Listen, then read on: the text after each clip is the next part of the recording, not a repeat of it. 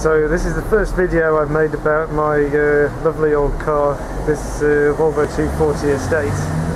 I've done quite a few fixes on it before and uh, I've been kind of tempted to try to make a video about each one. The engine tends to be pretty good in this car. Everything else gradually goes wrong because it, this is a 27 year old car.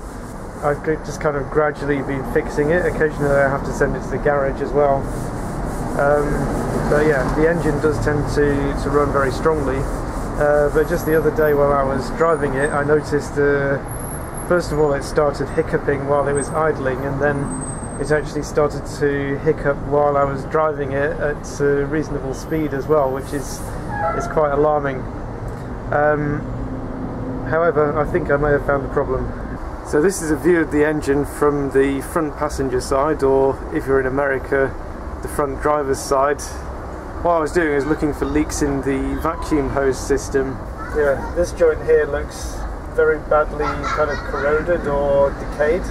It's not actually leaking, but what seems to be happening is because there's actually a vacuum in this pipe here, um, it's actually sucking inwards when the engine switches on. Um, and that's causing it to cut off its own air supply. So as the engine's running, this closes up, cuts the air supply off, the engine starts to die, and then the pipe reopens again, um, causing this kind of hiccup. And it may be possible to actually see that if I turn the engine on.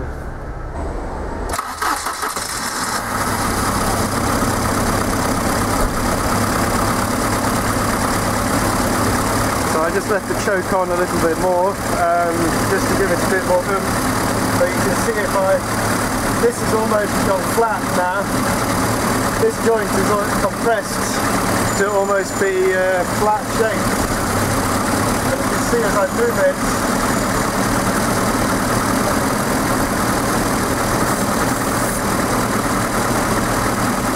it's not so apparent now actually because the choke's further on.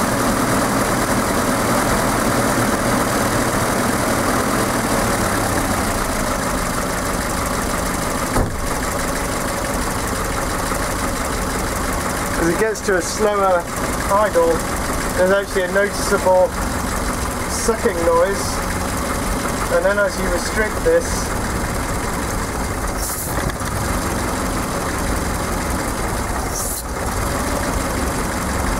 so I reckon that it's worth replacing that joint. This is a normal, this is now at a normal idle speed.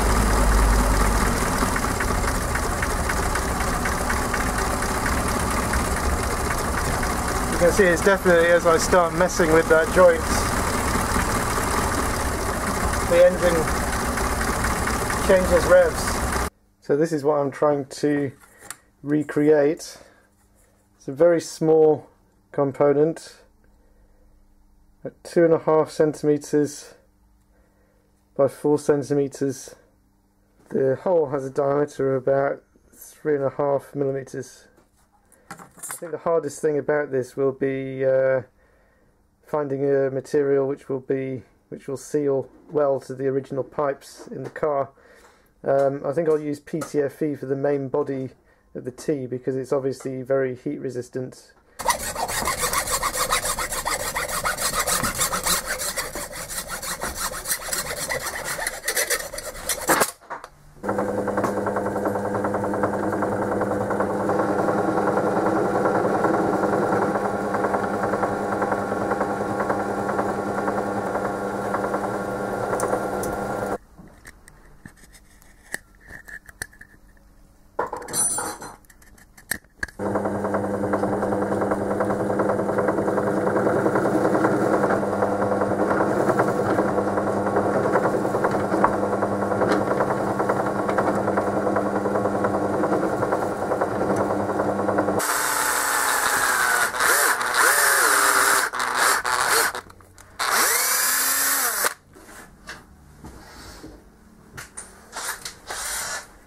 This is the moment of truth. Just friction fit these four millimeter plastic tubes into the four millimeter holes I drill. I think the fact that the PTFE um, kind of closed up as I was drilling it is actually an advantage. The fact that PTFE expands and then contracts again because it's made the fit very secure with all those holes.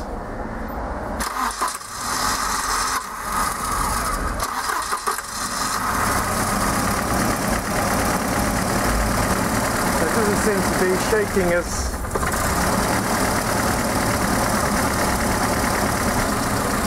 So it was a bit indecisive on startup, but seems to be running pretty strongly now. But in fact, as soon as I put the choke all the way in, uh, the problem returned. The engine was still hiccuping, etc. Uh, but don't be too sad. I did fix it in the end. And here's a picture of the car in happier times with a giant turkey leg on the roof. So, I was just about to give up because my little PTFE block, although it fit very well down there, um, the vacuum tube fix, um, did the job as it's supposed to do. It didn't actually fix the engine. Um, and I just noticed that the engine was running really well. I just shut the, the bonnet and suddenly it stopped working again. And then and I also noticed if I touch the carburetor a little bit, makes this really weird squeaking, whistling noise. And then I realised the whole top of the carburetor is loose. Um, so I think I can demonstrate how that affects the engine and hopefully all I need to do is tighten a couple of little bolts down here and maybe there on the other side and that should hold that down and the problem should be solved. I mean I could tell it was going to be something loose because it was so intermittent. I cleaned the contacts on the wires here and uh, this plug here which is also the, the it's obviously something to do with sensing the fuel mixture or controlling the fuel mixture in here so I cleaned those contacts seemed to improve it but wasn't great but it turned out it wasn't a loose contact, it's a loose entire carburettor.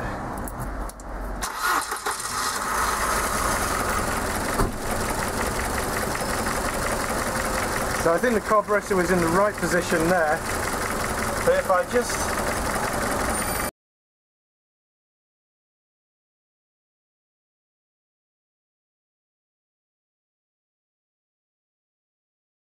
Okay, it's not actually going to stop now, but I did cause it to stop by, by messing with it.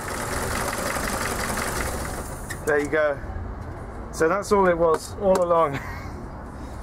and hopefully I can just tighten these nuts there and it will be sorted. Another symptom of the problem with the carburettor was that there's actually unburnt fuel and, and crap actually coming through the exhaust pipe. Um, there was a lot of it uh, just now, but I guess because it's petrol, it's actually evaporated, but you can still see there's a kind of greasy residue. So there was a noticeably large amount of, of fuel not being burned by the engine, which told me that the mixture, for whatever reason, was way off. So there are four bolts around the base of the carburettor, and one there the rest of them are hidden, but kind of at each corner of this square plate under here. All I did was uh, tighten those up with a spanner, although they're quite hard to access. So immediately it seems to be at least running a bit smoother, and there's no longer any noise or movements when I press the carburettor.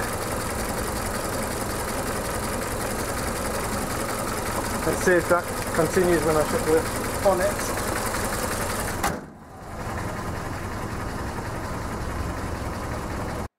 So the conclusion I've drawn from this experience is that when you Google or search YouTube for the problem of engine hiccuping, there are almost as many causes suggested as there are videos made about the subject. Um, I think the only thing to do if you run into that problem yourself is to check all the plugs, that is all the electrical plugs, all the vacuum hose connections, just make sure you clean off any corrosion on the electrical plugs. Check for uh, decaying rubber on the vacuum hose seals. And then maybe, as I found, none of those things actually fixed the problem. Um, I'm sure they helped. Um, I'm sure the engine is running better now that I've done all those, those things.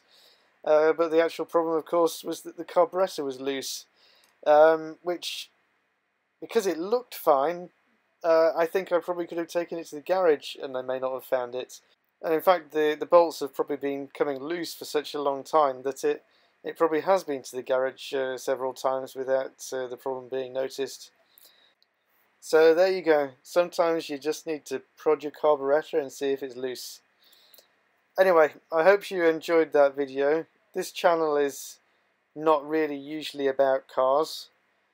Um, it's usually about CNC stuff and electronics, but the way that I see it, the Volvo 240 is kind of an open source car. There's so much information about how to fix it online, which has just been generated by fans of the, the car the, the there's no car made these days which has such a maintainable engine. Um, everything's accessible, everything's mechanical and analog where possible. Um, I wouldn't say it's easy to fix, but at least it's easier than most modern cars are to fix. If you found that video useful, even better if it actually helped you fix your car, uh, please like, share, subscribe for more open source stuff. Goodbye. And by the way, if you're interested in what this last photo is, this is a Volvo 345 I used to have. Um, I took it on the Nürburgring, drove it rather fast, um, and then it stopped working. It turns out that that was actually caused by a faulty seal on the radiator. So there you go. Check your grommets and your seals.